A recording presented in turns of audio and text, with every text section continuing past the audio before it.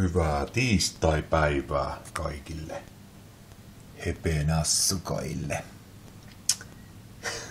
Joo. Tulin tässä kotona pyörähtämään ja, ja, ja ajattelinpa tehdä tällaisen Galen tuunatun lihiksen. Siinä on lihapiirakoita, sitten poutun häjyt, grillimakkaroita,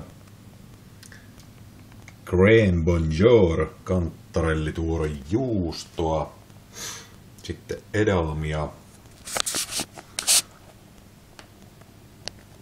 Siinä on katkarapu salaatti ateria, kurkkusallattia vielä pikkusen. Ja tota, näin päin poikkeen. Joo, tästähän se alkaa ruveta... No en tiedä, teinkö yhden vai kaksi. Semmoinen minimaalinen nälkä on, mutta katsotaan.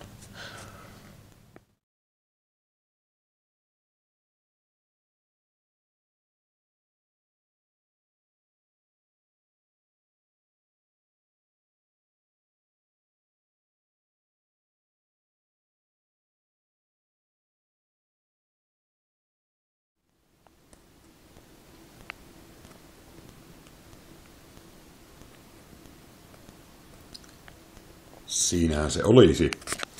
Galen tuunattu lihis. Kyllä. Siitä sitten Meksikan tomaattiketsuppia vielä pikkuisen.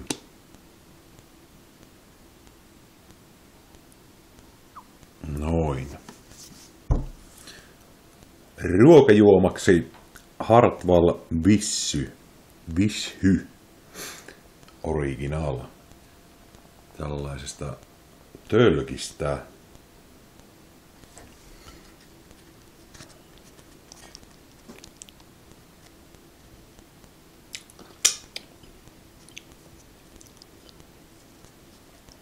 Joo.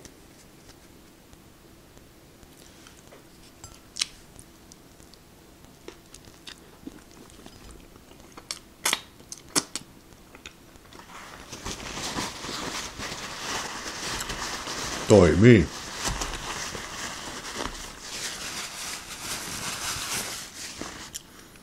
Toimii itse asiassa aika 5 kautta 5 arvoisesti tämä, tämä tuunattu, Galen tuunattu lihis.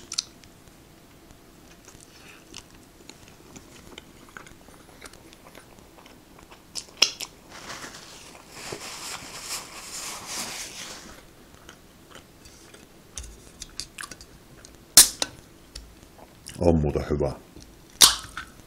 Tietenkin jos ja olisi vielä laittanut, niin olisi varmaan pointsit nousseet kuuteen kautta viiteen.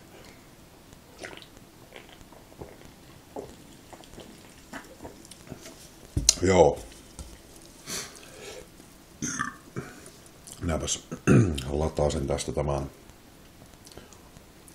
Galen tuunatun lihiksen naamarin ja lähden jatkamaan päivän askareita.